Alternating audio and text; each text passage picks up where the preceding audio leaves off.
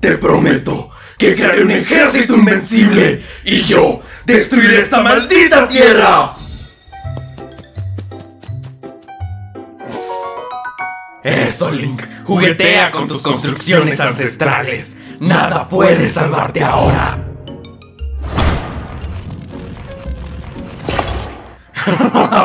Link, estás construyendo una cabañita para ver la destrucción de Hyrule. ¡Qué adorable!